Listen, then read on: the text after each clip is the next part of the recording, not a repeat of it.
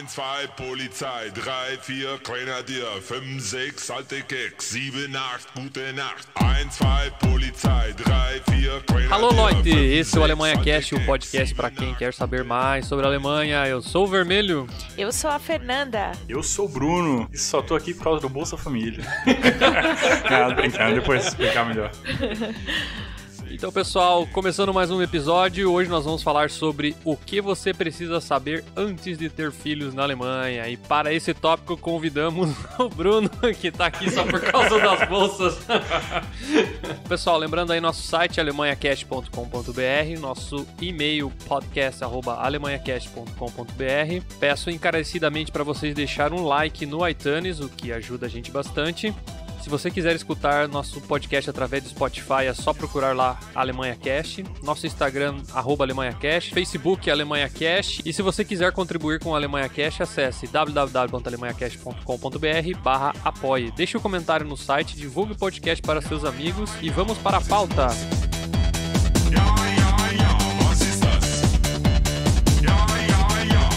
Não, pessoal, nesse episódio não vamos falar como se deve fazer um filho na Alemanha. Isso cada um tem que saber como faz, né? Bom, o conteúdo seria meio impróprio aí para o nosso público, mas a gente vai focar na parte burocrática, claro. Como sempre, vamos falar do, do que está envolvido, os benefícios, deveres e outras peripécias de ter filho na Alemanha. Basicamente, a gente quer falar um pouco sobre as assistências que o governo alemão disponibiliza, que não são poucas, para quem quer ter filho ou já tem filhos na Alemanha. Vamos falar sobre Kindergeld, Mutterschaftsgeld, Elterngeld e outros Gelder. São muitos Gelds, pessoal. Bolsa pra dar e vender. Essa Alemanha é a zona da gente. Mas eles aqui na Alemanha também chamam de bolsa? Não, não chama né? de bolsa, não, não, não. Isso é coisa de brasileiro aqui, galera mais direta. É, eu acho que É dinheiro, é dinheiro, né? assistência pra mãe. No Brasil, a gente às vezes tem uma visão que bolsa tá ajudando ali e tal, mas na verdade tá, né? É, tá. Aqui é Geld pra lá, Geld pra lá. Mas o que que é Geld mesmo, Fernando? Dinheiro. Ah, bom. Antes de a gente entrar definitivamente no tópico, por que que tem tanta bolsa assim? Eu só vejo criança na rua, mãe com gêmeos. É, assim, antes da gente vir morar na Alemanha, as pessoas falavam, ah, só tem idoso na Alemanha, só tem idoso. Gente, é muito carrinho. São carrinho com gêmeos, são pais com três, quatro, cinco filhos. É, eu não sei como era antigamente, mas agora eu vejo que provavelmente a taxa de natalidade deve ter crescido muito nos últimos anos. O que que tu acha, Bruno, que já mora aqui há mais tempo? É, tipo, desde o. Eu acho que o que estourou mesmo foi a partir de 2017, mais ou menos, que foi quando nasceu o meu filho. Opa, veio contribuir Olha aí. aí, vai contribuir, contribuir pra, pra, pra povoar né, o país. Mas, enfim, tipo, teve, eu acho que o último ano realmente que teve bastante nascimentos foi 89, 88, foi mais ou menos a minha geração aqui na Alemanha. E depois meio que caiu completo, né? A galera não quis mais ter filhos. Se, se teve, foi só um ou dois. E desde 2017, mas 2017, 2018, realmente teve muita criança aqui na Mas por que será que a natalidade estava tão baixa assim? Vocês sabem o motivo disso? Ou o que estava acontecendo? O que eu sei também, também da, da galera que eu conheço, dos nossos amigos que são mais ou menos da nossa idade, é que no final das contas, tipo, teve essa mudança de, de pensamento, né? Antigamente, onde aqui era o mais fácil, a galera acabava o colégio, né? um desses sistemas de colégio que tem, um dos três, entrava numa Ausbildung, ou então estudava alguma coisa, e sei lá, com 23, 24 anos tava pronto, casava, tinha filho, e com 30 anos já tava tudo pronto. E mudou bastante isso, né? Nos anos 90, que a galera, muito mais gente quis estudar também, entrar na universidade, e queira ou não queira, precisa de bem mais tempo pra poder fazer isso. As mulheres também quis primeiro entrar naquela de, de fazer carreira, conseguir um emprego legal, um apartamento legal, um carro legal, e isso simplesmente acaba meio que demorando mais, né? E às vezes chega lá na frente é tarde, né? É, e chega lá na frente, tipo, lógico, tudo é, é válido também, quando a pessoa também quer fazer carreira e nem todo mundo é obrigado a ter filho, cada um faz o que prefere, mas queira ou não queira, a natureza ela não espera até você ter 60 anos pra ter um filho e. Toda vez que eu pesquiso, eu lembro da- das aulas de geografia no Brasil, que tinha as pirâmides da- das idades, assim, nas faixas etárias. No Brasil é uma pirâmide, né? Pirâmide clássica. E na Alemanha é como se fosse uma pirâmide de ponta É cabeça. ao, ao né? contrário, é tipo É. que nem no Japão também, né? Tem uma... Isso. Geralmente países mais envolvidos são assim e não é sustentável, né? Então, Uma hora a galera toda vai estar velha e não tem ninguém que, que pague a aposentadoria dela, né? Então tem sim, que, tem sim, que que também não é tão equilibrado aqui. Que também não tá tão equilibrado. Não, mas, mas é, tipo, eu, como eu disse, eu conheço, a gente tem vários amigos mais ou menos na nossa cidade e nós somos, tipo, na minha geração de 30 anos agora, nós somos praticamente os únicos que tem filho. Ah, é? Dos seus amigos assim?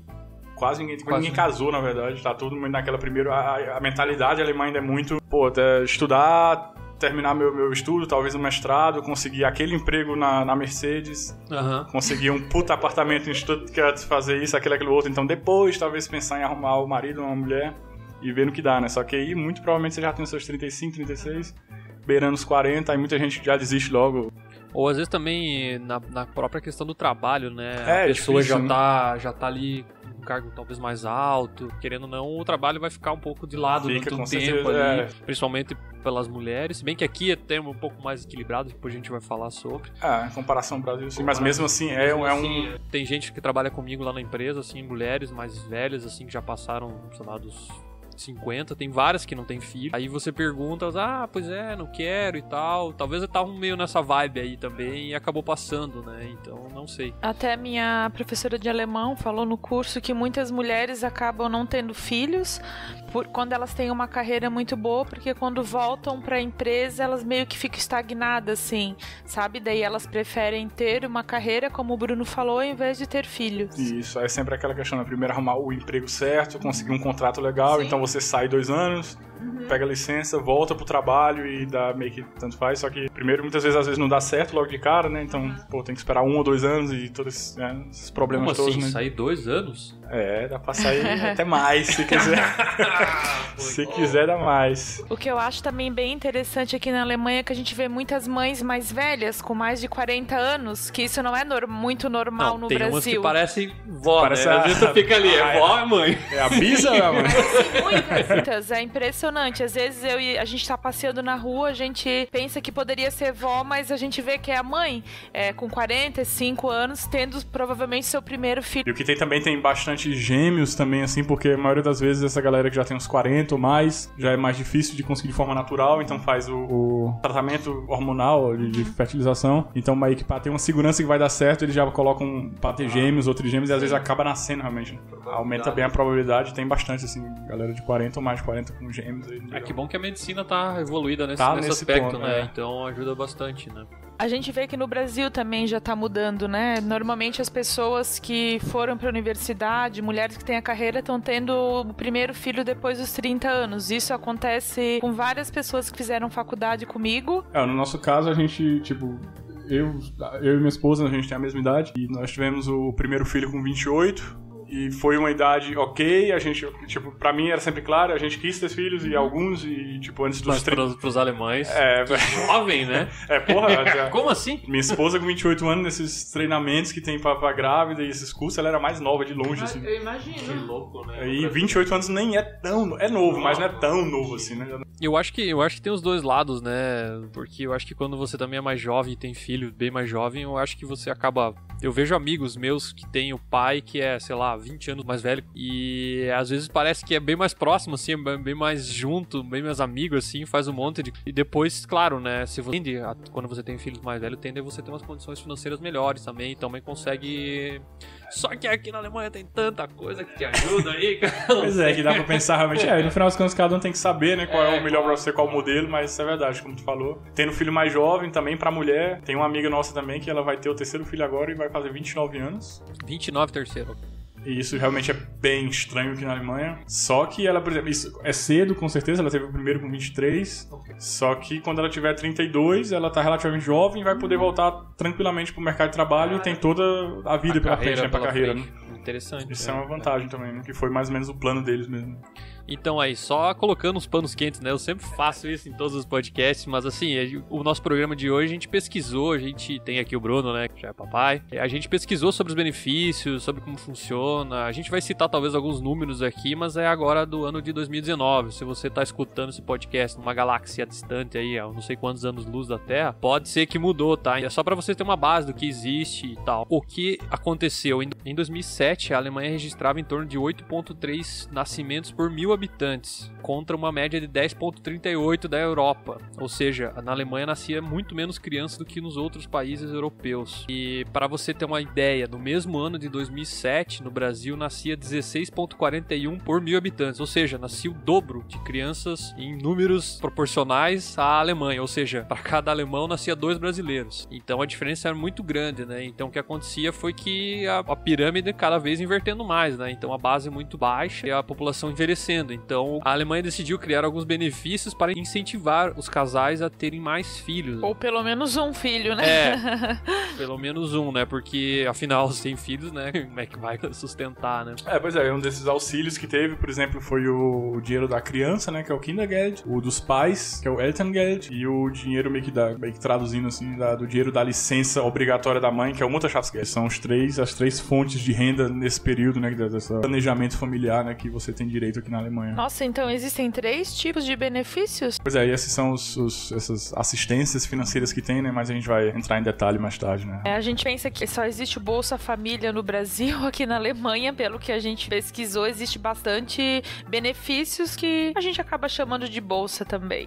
Pra mim é E- tudo bolsa. E, inclusive, esses benefícios são também para os estrangeiros, né? Isso, Não é são pra só para quem é Isso alemão. também não é, não é, não depende do salário ou de quanto você ganha. né? É um Isso número pra todo- fixo Não é um número né? fixo, não é isso. Caso, todo mundo recebe. Nagel depende de quantos filhos você tem e É, tal, isso, mas é isso. um dinheiro. Não, não é porque você tem um salário maior que vai ganhar mais. Não é como uma assistência para família carente, é Não, não. qualquer É pra pessoa qual- que tem um qualquer filho pessoa, vai ter o realmente, direito. É simplesmente uma, uma- um incentivo financeiro a se ter filho. né? Eu acredito que, pelo que a gente acabou falando antes, era também um dos pontos, né? Não só a carreira em si, mas todo mundo, todo pai quer que seu filho esteja nas melhores condições possíveis. Lógico. Né? Então, eu acho que o governo criou esses benefícios para tentar compensar, né, essa, assim, essa diferença, talvez, financeira que um filho ou mais filho venha a calhar. Só os preços desses carrinhos de criança aqui que já dá pra.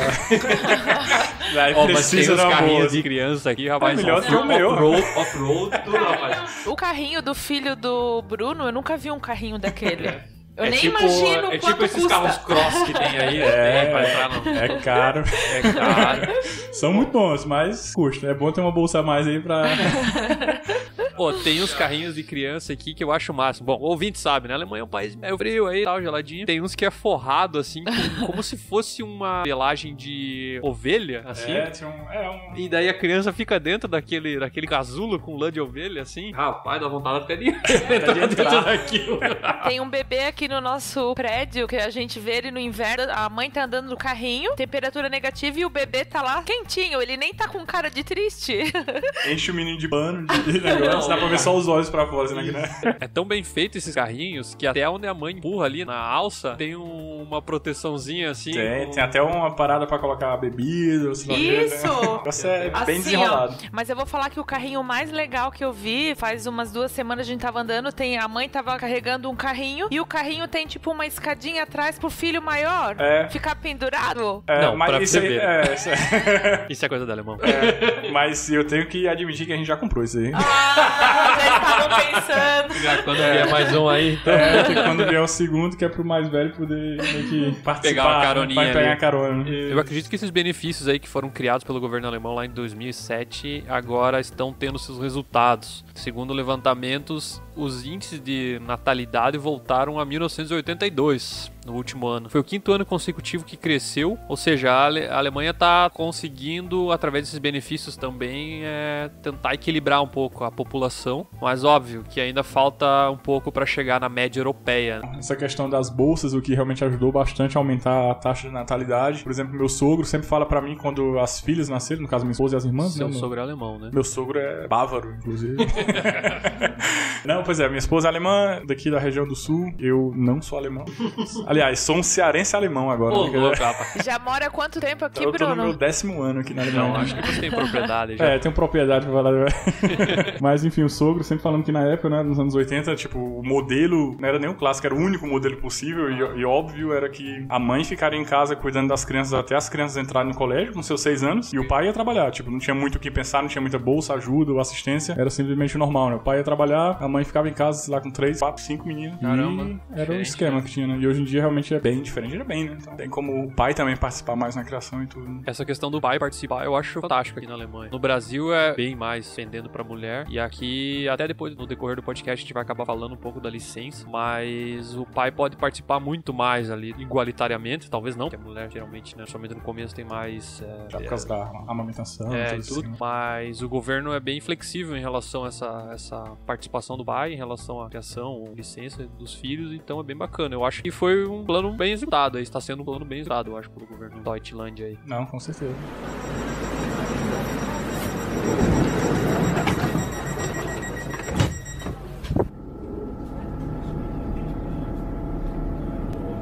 Nächste Station, Hauptbahnhof. Ausstieg in Fahrtrichtung links. Antes de encomendar uma criança, encomendar é ótimo, né? O que, que a gente deve saber? Bom, Antes de pedir pra cegonha, é, você né? manda um, dá um direct pra cegonha. Ô, cegonha, traz um bacuri pra mim aí. É, Bakuri. Enfim, a Alemanha, ao contrário do Brasil, por exemplo, se você nascer aqui, não necessariamente você é alemão. Por exemplo, um casal de estrangeiros morando na Alemanha pode estar o visto de trabalho ali, de residência, tudo, tudo certo. Nasceu uma criança, não necessariamente essa criança vai ser alemã já de cara. Ela tem que esperar um período até que ela possa vir a ter o direito de requerer a cidadania alemã. E isso é muito comum países, vamos dizer assim, mais antigos, vamos dizer assim. É, geralmente em países que foram colônias, por exemplo, Brasil ou Estados Unidos, se você nasce no território desse país, automaticamente você ganha o passaporte desse país, né? Que são a diferença entre jus sanguinis e jus solis. O solis é o, no caso, solo, né? Você nasceu lá, você é daquele lugar, você tem a cidadania daquele lugar, e o sanguinis só se você tiver um pai é, ou mãe que são naturais desse país. Que é, que é no caso, como meu filho Bento, ele, como a minha esposa é alemã, assim que ele nasceu, ele automaticamente foi alemão, mas por causa da esposa. E brasileiro também por, é, por causa de mim, né, no caso, né? Mas eu tive que mandar toda a papelada pra Claro. consulado, né, pra Tem, tem desenrolar. burocracia. É, né? tem que ter, né? Tem que ter, faz parte. Ainda mais na Alemanha, né? Ô, É, por exemplo, se um casal de brasileiros tá morando aqui, no caso clássico aí, falar da galera de TI aí que tá trabalhando tal, um brasileiro, blue card, teve filho aqui, não, ele não vai ser alemão, vai ser alemão, não de cara. Eu sei que tem um... A gente quer gravar um Alemanha Cast sobre isso, pelo que eu sei, acho que são sete anos, tem que residir aqui, alguma coisa assim, depois você pode que pode pedir, caso a naturalização ou cidadania, e a partir desse momento, a criança, no caso, ou o casal pode ter direito a ficar permanentemente na Alemanha. Então, por exemplo, no Brasil não, se você tá lá, um, um casal de alemão tá lá no Brasil, a trabalho lá, e a criança nasceu no Brasil, automaticamente essa criança é brasileira. Eu, por exemplo, conheço um, um rapaz, ele é alemão, e o pai dele e a mãe dele estavam no Brasil em 1980 e qualquer coisa. O pai dele tava a trabalho lá, ele levou a esposa junto na época, e ele acabou nascendo lá. E ele tem o passaporte brasileiro e alemão. Mas logo quando ele tava 3, 4 anos de idade, acabou voltando pra Alemanha, e ele é o brasileiro alemão que foi pro Brasil só uns anos atrás. aí. Mas ele mora no Brasil? Não, ele, na verdade, ele como nasceu no Brasil e veio pra Alemanha, então ele foi alfabetizado, tudo aqui e tal, quando ele tava na faculdade, e ele como tinha nascido no Brasil, tinha curiosidade de Ah, conhecer o Brasil, conhecer. porque ele veio como, voltou pra Alemanha quando criança. É, ele foi um brasileiro sem querer, e daí ele transferiu a faculdade pra lá, fez um ano no Brasil, lá na PUC de São Paulo. Daí ele, já, por ter esse laço, acabou estudando português, e daí foi pra lá e fez um ano de faculdade no Brasil, voltou e se se formou aqui. Então, vamos dizer assim, foi um laço que acabou ficando dele com o Brasil, e que, por exemplo, se você tiver filho aqui, é brasileiro e for embora semana que vem, você só nasceu aqui, porque na verdade você vai ser a nacionalidade você não tem, né, automaticamente. Até tem um caso interessante que a gente tem uns vizinhos aqui. Ele foi trabalhar no Brasil, transferido, eles são alemães e tem os dois filhos que são brasileiros. E as crianças têm curiosidade do Brasil. Eles não sabem mais falar português porque vieram pequeno, mas quando a gente foi na casa deles, eles ficavam prestando atenção na gente falar português porque eles. E a mãe falou pra mim que eles falam que eles são brasileiros e alemães. É, eu acho bem legal isso, assim. Foi bem engraçado, a gente lá conversando, lá na, na- na sala e tal. Aí o menino chegava e ficava do lado, assim, virando a orelha e tal. E daí o pai dele falou pra mim, não, não, ele, ele é bem curioso pra escutar português, ele sabe que nasceu lá. Então eu achei bem legal esse, esse vínculo aí. Aquele lourão do olho azul é brasileiro. Sim. É, mas a nossa vizinha aqui do, do prédio também, né? Ela morava nos Estados Unidos e a filha dela nasceu sim. nos Estados Unidos. Ah, ele também tem. E é casal de alemães e ela é americana também, a menina, a menina. Não sei se ela tem, ela é novinha também, não tem muita curiosidade sobre os Estados Unidos, eu acho. Então, geralmente países que foram colônias, né, Brasil, Canadá, esses países, se você nasce nesse país, você tem automaticamente a nacionalidade de lá. Não é o caso da Alemanha. Na Alemanha é um pouco diferente essa regra. Mas afinal de contas, essa questão de nascimento, nacionalidade, impacta ou não impacta nos benefícios? Não necessariamente, né? Tipo, se você realmente tem um emprego aqui oficial e legal, paga seus impostos, você tem direito a receber os benefícios. Esse é o o legal da coisa, né? Então, se você tá, vamos dizer assim, formalmente trabalhando, você está contribuindo com a União e você automaticamente tem direito a esses benefícios. E no, pessoas que não têm renda, elas também têm direito a esses benefícios? Sim, tem direito a esses benefícios e a outros também, porque a partir do momento que você tem uma renda baixa ou nenhuma renda, de alguma Aham. forma, você tem mais direitos. Se você tiver filhos, no caso, não tem direito a bolsa pra esporte, ou pra instrumento, sei lá o que. Tipo, tem várias ajudas. Interessante. Se você tem um trabalho formal, você paga automaticamente a- o imposto de renda, né? No Brasil funciona por faixas. Por exemplo, se você ganha até 1.900 reais, você acaba não pagando nada de imposto de renda. Se você ganha, sei lá, de 1.900 a 2.800, você paga 7,5%. Depois 15%, depois 22,5% e acima de um valor X você paga 27,5%, que é o teto do imposto no Brasil.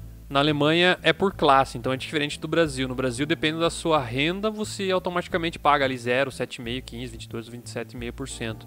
Na Alemanha depende de você, no caso. Por exemplo, se você é solteiro ou separado e não se encaixa na faixa 2 e 3, você paga um valor X. Se você é solteiro, separado e com filhos, você paga outra coisa. Se você é casado ou viúvo, paga outra. É, se ambos do casal têm income, no caso tem receita, você paga uma taxa. Então você pode combinar duas classes entre o casal. Isso acaba impactando em alguma coisa, certo, Bruno? É, porque dependendo da combinação que você tem, é possível meio que roubar, né, um pouco o Estado. Ô, Você- louco.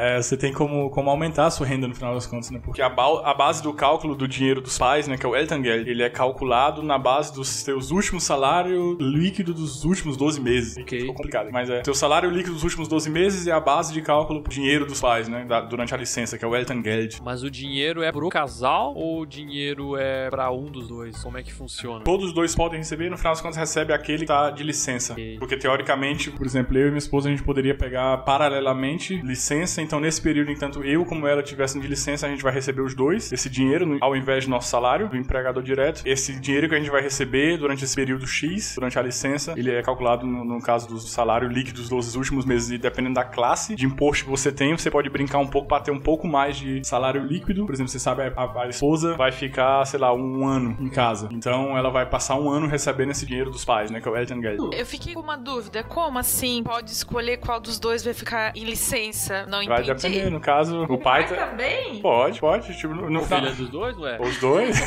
Ninguém faz isso sozinho. ninguém faz isso só, né?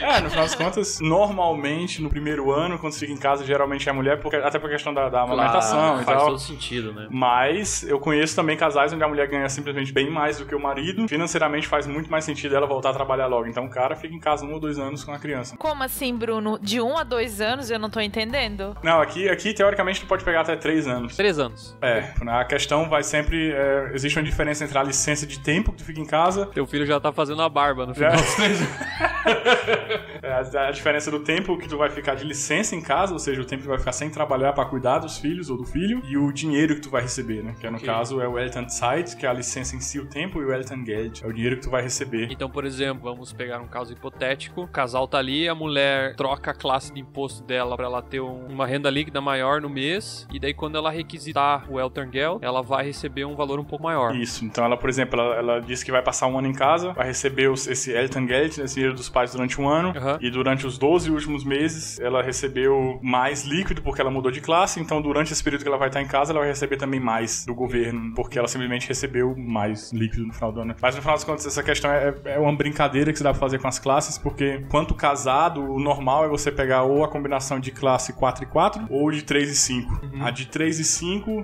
a pessoa que tem a classe 3, ela vai pagar bem menos impostos e assim vai ter bem mais dinheiro líquido no final do mês. E a pessoa que recebe 5, ela vai pagar muito imposto e vai ter bem menos líquido no mês. E no final do ano, quando você fizer sua, seu imposto de renda, você vai ter que geralmente pagar alguma coisa pro, pro Estado. Porque você teve meio que o dinheiro a mais que não é seu, né? Você pagou pouco imposto pra ter mais durante o mês, mas no final do ano você devolve pro Estado. Se você tiver, por exemplo, 4 e 4, você tem bem menos líquido no mês. Os dois pagam a mesma quantidade de impostos, tanto o marido como a mulher. Só que no final do ano, com a imposto de renda, você geralmente recebe dinheiro do governo. Ou seja, o- a carga tributária que você vai ter com 3 e 5, 4 e 4 é a mesma. A única diferença é que talvez você tenha mais dinheiro líquido no mês ou no final do ano. Aí vai depender de como você Cada acha. um, cada um acha melhor, né? Por isso que faz sentido mudar, pra que, por exemplo, a mulher, supondo a mulher vai ficar em casa o primeiro ano em casa com o filho, pra ela ter a classe 3, pra ter mais dinheiro líquido durante o mês, pra pagar menos imposto, porque por mais que o marido ganhe bem melhor, eles vão receber esse dinheiro de volta, de alguma forma, vão ter que pagar mais independente, mas vai ser a mesma coisa no, no final das contas, no, no final do ano. Mas então ela vai ter mais dinheiro líquido na época da licença. O que é bom, né? O que é bom, lógico. Então você tipo, não vai fazer diferença pra vocês. A única diferença pro casal vai ser que em vez de durante o mês, ele vai ter no final do ano. Entendi. Diferença. Mas na verdade tem que se programar então pra ter o filho, né? É, Porque- na verdade, financeiramente, se quiser fazer perfeitinho, assim, pra dar tudo certo, você meio que na hora que estiver planejando em ter filho, você já tem que mudar.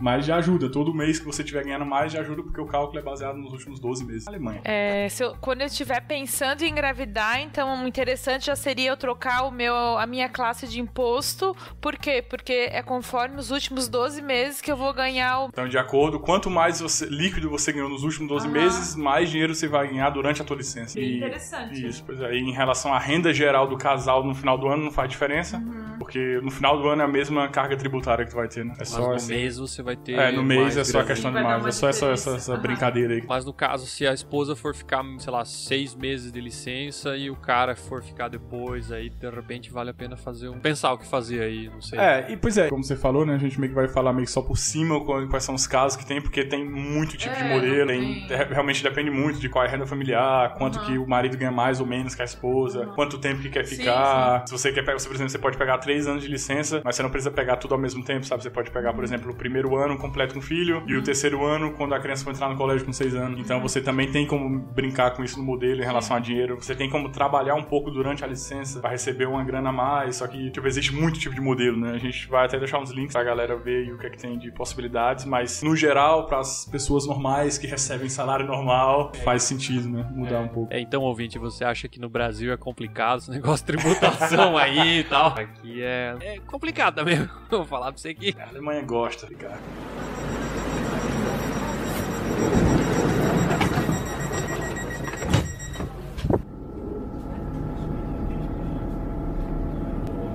Nächste Station, Hauptbahnhof.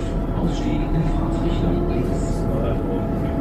Vamos dizer que o casal praticou bastante e a cegonha está a caminho. Durante a gestação, o que, que os papais devem fazer? Primeiramente, o plano de saúde. O plano de saúde para criança é automático. Ou seja, assim que a criança nascer, você manda uma cópia da certidão de nascimento pro teu plano de saúde e eles meio que automaticamente já colocam o teu filho ou tua filha no teu plano. né? Então é tudo é, automático. Só lembrando o pessoal que aqui na Alemanha tem uma diferença bem grande referente ao plano de saúde, que no Brasil a gente tem o SUS e algumas pessoas têm o plano privado. Aqui na Alemanha funciona um pouquinho diferente. Todas as pessoas que têm uma renda é descontado diretamente da folha o valor para o plano de saúde. É, e se eu até dei uma pesquisada, é, se você não trabalha, você não paga. Porém, quando você começa a trabalhar, você paga um valor retroativo pelo tempo que você não trabalhou e utilizou o, o plano de saúde. É, então, na verdade, O o plano plano, público. público. aqui você paga ele diretamente. No Brasil você também paga, obviamente, mas não é descontado, vamos dizer, direto na sua folha salarial. Você paga através de impostos e outras coisas e o SUS acaba recebendo indiretamente esse dinheiro. Aqui na Alemanha não. Você escolhe um plano de saúde que está atrelado ao governo e automaticamente no seu salário você tem um desconto mensal para cobrir os gastos do plano de saúde. E no caso, que nem a Fernanda falou, quando você, por exemplo, um casal, só a mulher trabalha, ela paga o plano de saúde, o marido também tem a, a- o benefício. No momento que o marido começar a trabalhar, ele tem que pagar um valor retroativo que não precisa, que, que até onde eu sei não é valor completo do que não foi pago durante o tempo que ele trabalhou, mas ele tem que pagar um valor para cobrir esse tempo que ele ficou coberto sem estar pagando diretamente esse valor. Então funciona um pouco diferente. Então, né, a questão do plano de saúde, como o Thomas e a Fernanda falaram, como meio que você já paga descontado de folha, todo mundo já tem, assim que o seu filho ou filha nascer, ele automaticamente já vai estar já vai estar incluído no seu plano de saúde. O que você tem que fazer é só mandar a cópia da, da certidão de nascimento pro plano de saúde, e eles desenrolam tudo e a criança recebe o cartãozinho e é só alegria. Só alegria. Mas olha só, os alemães adoram cartas. Qual é a primeira carta que uma pessoa nascida na Alemanha recebe? Não é uma carta de bem-vindo. não é um abraço. é, não, é um, não é um abraço do, do, do Steinmeier, do presidente, ou da Angela Merkel, é simplesmente o seu Steuer-ID, que é o seu CPF alemão. Você nasce e já tem como ser cobrado já- de ti, é isso? Já perdeu, já nasceu, já tá registrado. Duas semanas depois você já tá com, com um cartãozinho com a carta. Eu achei que vinha uma foto da Merkel mandando um abraço, não? É, ela tá falando ali, né? Mas- É, talvez seja melhor receber só o CPF. Né? uma coisa bem interessante aqui na Alemanha, quando eu cheguei, eu fui procurar um médico para mim, um ginecologista. E eu liguei para uns três, quatro consultórios e eles negaram porque não tinham mais vaga para mim ser atendida. Isso não é muito normal no Brasil. Normalmente eles ficam pegando paciente. Como que funciona se a mulher tiver grávida, Bruno? Se eu cheguei aqui, eu tô grávida, eu vou num ginecologista e ele não tem vaga para me atender. Grávida na gestação, o ginecologista aqui na Alemanha ele é obrigado por lei ali atender, né? Ali pegar pelo menos durante o período da gestação, porque realmente tem essa questão que os ginecologistas, principalmente os, lógico, os bons, né, são sempre bem cheios e é difícil arrumar um espaço essa questão do contingente que eles têm. Só que as grávidas eles pegam, até porque não só porque eles são bonzinhos, mas porque as grávidas o governo paga muito mais. É mesmo? É, aí eles têm toda essa. É, no final das contas é, é bom pra todo mundo, né? É bom pra todo mundo. O médico recebe mais porque o plano paga bem mais pra grávida e os- o tratamento e todos esses mestra- Exame- exames de gravidez é mais né, caro. E eles recebem mais. É bom pra, pra grávida que tá presente. No caso da minha esposa também foi assim. Quando ela, a gente, ela ficou grávida, a gente tava nem um ano morando aqui na nova cidade e ela não tinha nenhum médico por perto. Tava grávida e ela conhecia ou ouviu falar de uma ginecologista que era muito boa, que todo mundo ia. Só que ela não tinha mais contingente nenhum. Só que ela ligou: Olha, eu tô grávida, né? Como é que vai ser? Ela pegou e até hoje tá lá. Mesmo depois da gestação deu certo e tá com uns três anos já que tá lá. Então tu quer dizer que tem bolsa médica também. Tem uma- Bolsa pra todo mundo. Todo mundo sai ganhando, cara. Essa Alemanha é uma mãe, viu? Mas tem uma dica importante aí, né, Fernanda? Uma dica bem importante para as futuras mamães na Alemanha, quando você souber que está grávida, é bom já procurar um Kita. Mas o que que é um Kita? Kita é a famosa creche no Brasil. Tem hater falando que não é uma creche, né? Tem hater pra tudo. Mas, enfim, a creche, no caso, Kita, em alemão, que é a Kindertagesstätte, é o local onde as crianças vão de 0 a 3 anos né, na, na Alemanha. Tipo, a partir dos 3 anos na Alemanha não existe uma obrigação, por lei, né, da criança realmente ter que entrar num jardim de infância ou na creche. A obrigação realmente é só a partir dos 6 anos, quando ela vai entrar no colégio. Só que de 0 a 3 anos tem as creches que cuidam das crianças, caso a esposa ou, ou caso a mulher ou, ou o marido queira voltar a trabalhar e não tem quem deixar a criança. Só que é bem difícil encontrar lugar, porque tem poucos espaços, principalmente nas cidades grandes, como Stuttgart, Munique, Hamburgo, é absolutamente difícil. Por isso que realmente faz sentido você soube que tá grávida, o teste deu positivo, vai logo atrás e procurar a creche que você quer, porque senão você realmente não consegue. Além de ser difícil, é bem cara. Algo você tem que pagar na Alemanha? A creche paga. Creche paga. Aliás, a creche e o kindergarten, né, que é o, o- o jardim de infância, você, você vê que o kindergarten, o jardim de infância é bem mais barato, só que a creche, ela é por idade, né? Tipo, de 0 a 1 um, ela é muito cara, de 1 um a 2 ela é cara, e de 2 a 3 é carinha, assim, mais dá. É que faz sentido também. É, tem a né? criança muito Porque pequena. A criança muito pequena, a responsabilidade é Tanto bem é que realmente tem, tem, tem muito, eu conheço muita gente também, muita, muita mãe que realmente fica os dois primeiros anos em casa, por vários motivos. Primeiro, porque também tem o direito e é fácil, tranquilo. Mas também porque muitas vezes nem vale a pena voltar a trabalhar, porque ela não vai voltar a trabalhar aos 100%, volta a trabalhar talvez, sei lá, 25, 30, 40%. Ok. Recebe não sei quanto líquido, X, e tem que pagar metade, 80% desse valor pra creche. Pra poder ir trabalhar, que financeiramente não faz sentido. né? Você tem ideia de quanto custa isso? Depende muito, porque isso é- depende da, da região. tipo, isso não tá, é. Não é bastante. por exemplo, Stuttgart, em, em relação. Stuttgart é bem barato, só que em compensação não tem espaço. tipo, você paga em Stuttgart, eu acho que até 100, eu acho que uns 100 euros Uhum. por lugar a partir de dois anos. E isso é re- realmente bem barato, só que praticamente você não encontra espaço em lugar nenhum, porque já tá tudo bem É cheio. barato, mas não tem pra todo mundo. Na região de Esslingen, que é onde a gente mora aqui, onde o Thomas e a Fernanda moram aqui em Musberg e eu em Filderstadt, custa a partir de dois anos uns 430 euros. E dependendo da região, eu sei que em Ludwigsburg, que é perto de Stuttgart depois, lá você paga por salário. Tipo, quanto mais você ganha, mais você paga. E o limite eu acho que é uns 700 euros que você paga no mês. Isso é muito. Ah, então talvez não vale a pena a mãe voltar a trabalhar, vale a pena ela ficar com a criança até os três anos. Isso, muita O é gente muito faz bom, isso. né? É, o que é bom também, né? Quando você já tem a opção e a possibilidade de fazer isso. E incluindo os outros benefícios, eu acho que Isso, vale com certeza, a pena. vale a Não, É pena. melhor estar com a família, né? É, a alternativa boa que tem é o que a gente tem, que é a Tagesmutter, né? Que é a babá Sim. particular. Então, paga metade e a outra metade paga pelo governo. Inclusive, essa questão de prazo, né? E realmente registrar os filhos o mais rápido possível, tanto na creche quanto no kindergarten, né? Que é o jardim de infância, é bem importante. A gente, por exemplo, nosso filho tinha um ano e três meses e a gente já registrou ele pro jardim de infância, que ele só vai entrar com três anos. Que é. pra, e conseguimos eh, o que a gente quis,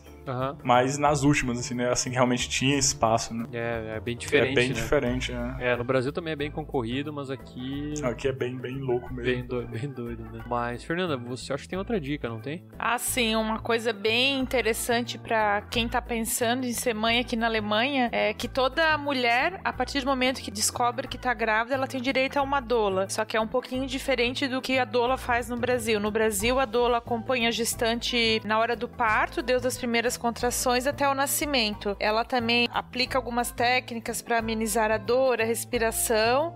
Normalmente ela fica até a mãe sair da maternidade com a mãe no hospital, mas depois é a mãe que vai se virar com o bebê. Parece que aqui na Alemanha é um pouquinho diferente, né?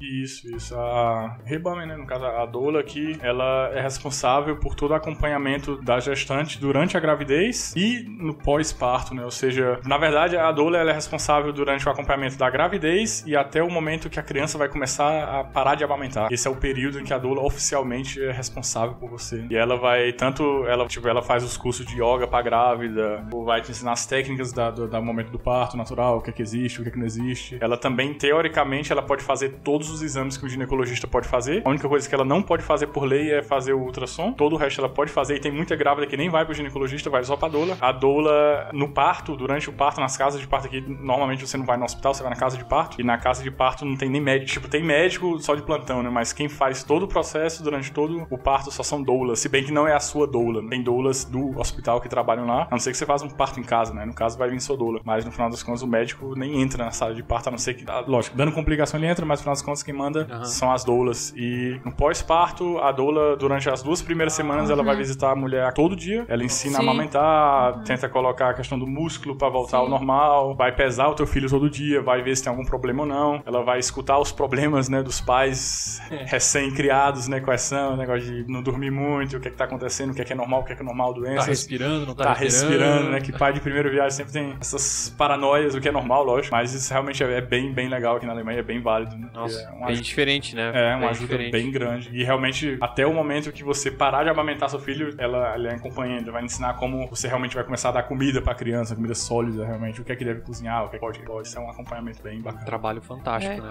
Até uma estatística interessante que eu tava pesquisando aqui, mais de 80% das pessoas que têm plano de saúde no Brasil fazem cesárea. Nossa. Menos de 20% faz parto normal. É, inclusive, quando a minha esposa estava grávida, eu pesquisei bastante sobre esse tema. Porque, lógico, como brasileiro, minha irmã também tem filho, todo mundo que eu conheço no Brasil que tem filho teve cesárea. E, e na minha cabeça de brasileiro, a cesárea era o normal, né? Então, para mim, foi importante também simplesmente conhecer um pouco dos dados e ir atrás e ver. E o Brasil é o país do mundo onde realmente se tem mais cesárea. Né? Porque, lógico, tem motivos que tem que fazer, né? Questão de saúde. Ou, claro. Sim, que aqui na Alemanha eles também fazem. Aqui eles né? também fazem, só que realmente aqui, por exemplo, se você não falar que quer uma cesárea, todo mundo parte do pressuposto que você vai ter um parto normal. Não é no Brasil como realmente você marca logo, tá grávida, marca já o dia do nascimento e vai, vai tudo bonitinho. Tal é. dia. Sim, sim, eu tenho amigas que descobriram que estavam grávidas, elas foram no médico, ah, o teu parto é pra esse dia. É. Tinha, tinha, ainda oito meses. Afinal de o parto natural, é, é, queira ou não queira, é o mais natural, né? Tipo, Sim. É mais complicado, não tem como planejar. Por isso que se chama parto natural. Isso.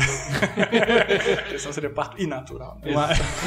É, mas só lembrando que assim, eu às vezes converso com algumas mulheres que pensam em ter filho aqui, elas têm pavor de parto natural. Só lembrando que na Alemanha, se tem risco pro bebê ou pra mãe, eles fazem cesariana. Todo hospital faz logo. Então, por isso que, por exemplo, na, hora do parto não tem médico, mas no hospital sempre tem médicos de plantão. Sim. Caso dê algum problema, alguma claro, complicação, né? eles vêm. A Reba, ela é treinada, ela, ela é treinada nada. É, um, é, estudou, é, ela uma, sabe, uma doula então, que é, estuda claro. quatro anos também para É uma profissão, é né? uma profissão, ela com certeza. Tipo, tem, isso, tem, né? tem, são capacitados para isso. Só que de compensação a questão da cesárea é, queira ou não queira, é uma cirurgia, é também claro. complicada claro. e é mais fácil para qualquer hospital, né? Porque primeiro eles ganham mais, eles conseguem planejar melhor, eles colocam quatro, cinco, seis mulheres no ah, dia só. Otimizam melhor o tempo. É a melhor ultimação que eles podem fazer. dinheiro, na verdade, né? Com certeza, por isso que realmente vale a pena pensar um pouco sobre, pelo menos uma lida, né? O que é que existe, o que é que não existe. E aqui na Alemanha, como eu disse, né? Todo mundo vai, vai partir do pressuposto que você, como mulher, vai querer um natural. Então, concluindo aí, é bom você já procurar, porque assim como a gente falou do kit, a concorrência é grande, então não é fácil achar uma doula também. O profissional tem que estar disponível para te ajudar, mas também não é tão fácil achar. Então é bom já procurar, pesquisar, né? Nosso amigo Google aí tá aí para isso, né?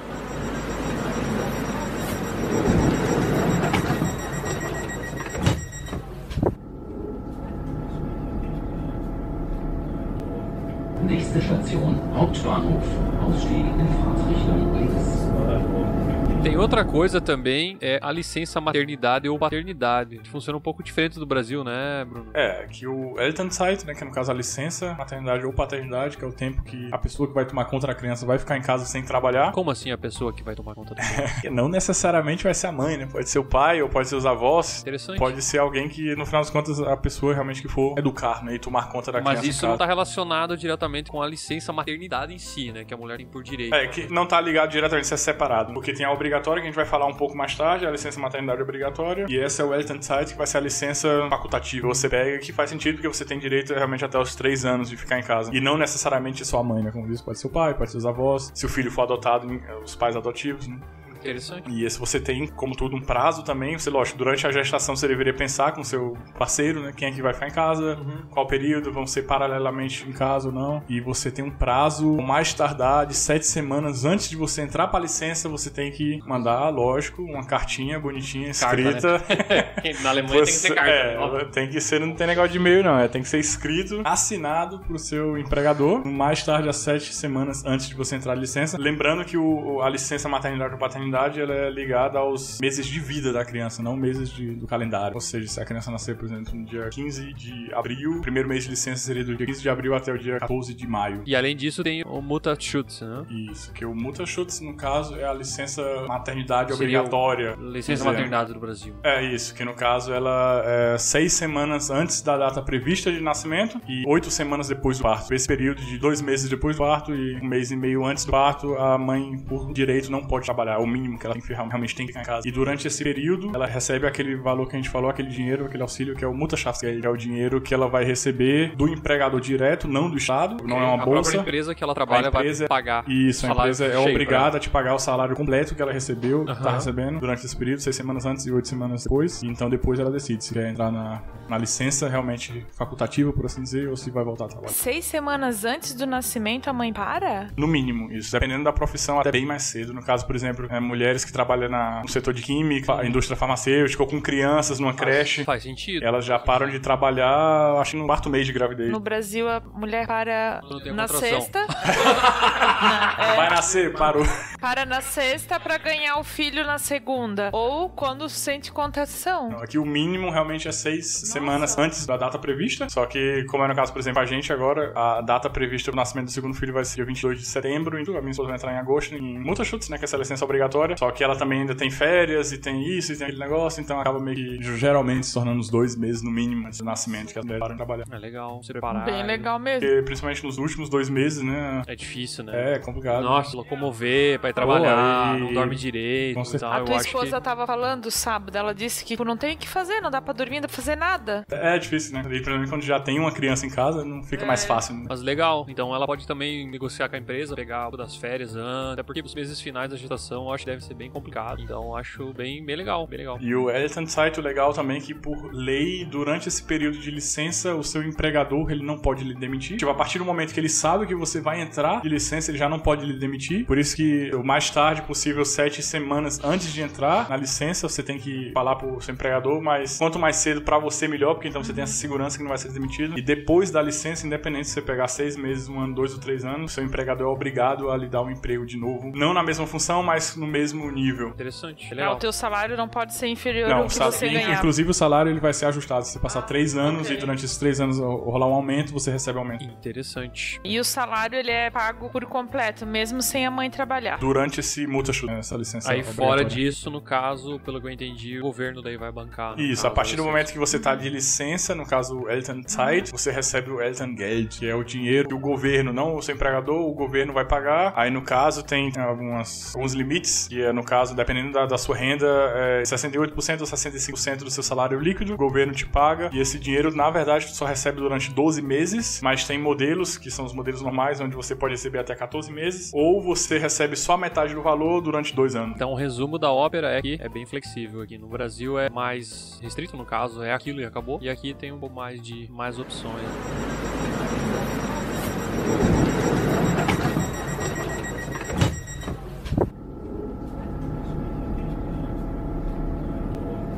Nächste Station, Hauptbahnhof.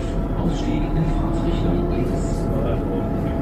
Nasceu! E agora? Bom, agora é época de virar um zumbi e virar sócio da DM, é isso? É, agora você vai saber onde é que seu dinheiro todo vai ficar.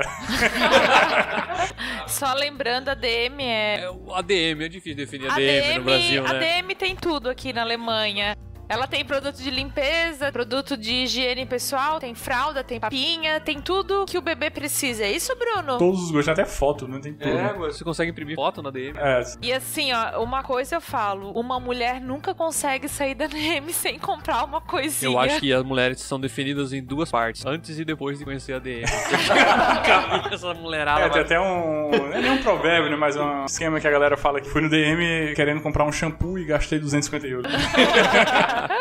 tem conta Olha, realmente. eu vou dizer que a loja é boa. É boa. A loja é boa. E principalmente pra pais, quem tem criança é perfeito porque eles têm marca própria pra tudo. Eles se especializaram no setor de criança, bebê, e eles têm tudo da marca própria, de fralda a produto de higiene, a roupa, e custa metade das marcas, por exemplo, a Pampers ou outras marcas que existem, e a qualidade é muito boa. A gente, por exemplo, só usa dele. Então, depois que nasceu a criança, os pais têm direito ao Elterngeld, que é o dinheiro que serve como compensação perante a perca de renda, vamos dizer assim, do casal. E esse pode ser estendido até 14 meses depois do nascimento do bebê, com garantia de retorno ao trabalho. O valor proporcional que você recebe do governo nesse período é mais ou menos de 65% do seu salário líquido que você recebia antes. E pra quem não tinha nenhuma renda, ou uma renda bem baixa, recebe no mínimo 300 euros por mês. Então, 14 meses, não é o seu madruga não, né? E como que funciona em caso de gêmeos, trigêmeos, quadrigêmeos? Caso de gêmeos, trigêmeos ou quadrigêmeos, eu não sei se o mais coerente é dar os parabéns, mas. Ou boa sorte. Ou boa sorte, não é brincadeira. Mas tem é, regras diferentes, de qualquer forma. Você também tem até direito a uma diarista, tem mais direito ainda de, de licença. Mas também, né, gente? É, trabalho. gêmeos. Que tem, tem um, Um já deve dar trabalho, É né? onde dá trabalho. É sorte e felicidade em dobro, mas também é trabalho em dobro. É. Mas afinal, quem pode receber esse dinheiro? É, quem recebe o dinheiro é quem tem uma residência fixa na Alemanha e a pessoa que realmente está morando em casa e cuidando da criança. Então, no caso, como a gente falou antes, se for a avó que estiver cuidando, ela pode ela Avó, receber pai, esse mãe. dinheiro. Então, não precisa necessariamente ser o pai ou a mãe. E quando é que eu devo aplicar para esse benefício? O mais rápido possível, né? Sempre é bom. Pra aplicar, tu precisa só da certidão de nascimento, ou seja, assim que nasceu o filho, tem a, a certidão, tu já manda pro local certo e tu vai receber. Tem um prazo onde tu, acho que até três meses depois do nascimento, tu recebe o dinheiro de volta, só que depois disso, então, tu pode perder dinheiro. Então, por isso, realmente é bom se apressar nesse momento. E como que é feito o pagamento pros pais? O pagamento, ele depende muito de estado para estado. Quem paga esse dinheiro, no final das contas, é o governo, só vai mudar a instituição que paga, mas tu recebe o dinheiro forma mensalmente na tua conta bancária. E tem umas diferenças de estado, mas no geral é esse. Mensalmente, no caso. Mensalmente. Outro benefício é o Kindergeld, que é o dinheiro da criança, traduzindo ao pé da letra, que é o dinheiro que pode ser utilizado para custear outras despesas que você vai ter com seu filho, como por exemplo educação ou financiar a DM, né, comprando coisas que tem para vender lá. E esse dinheiro é pago durante um bom tempo, não é, Bruno? Isso. Teoricamente, até o filho ou a filha completar os 18 anos de idade. 18. Isso. E 18. se tiver desempregado até os 21, e se tiver estudando ou fazendo uma Ausbildung nesses cursos técnicos, tem por aqui até os 25 anos. E no caso, isso ajudou também a gente, né? Porque no caso, quando eu e minha esposa morávamos juntos e ela ainda estava estudando, a gente já estava casado e ela ainda recebia esse dinheiro. É mesmo. É, viram só, pessoal? Essa Alemanha é uma mãe. Chegamos ao fim do nosso episódio. Como vocês perceberam, é um tema bem complexo. A gente quis dar um apanhado geral sobre todos os benefícios que existem na Alemanha para quem quer ter filhos. Espero ter ajudado e clarificado um pouco. A gente vai deixar no post do episódio os links para vocês acessarem e tirarem mais dúvidas. E eu espero que tenham gostado. Divulga o podcast aí para os seus amigos e até a próxima, galera. Valeu! Valeu aí. Pois é, o tema é um pouco mais complexo e cheio de detalhes. Isso foi só pra ter uma noção meio por cima, né? O que é que realmente existe, quais são as possibilidades assim, mas espero poder ter ajudado um pouco aí. Valeu, até a próxima. Tchau, pessoal. Até a próxima e continue ouvindo o nosso podcast.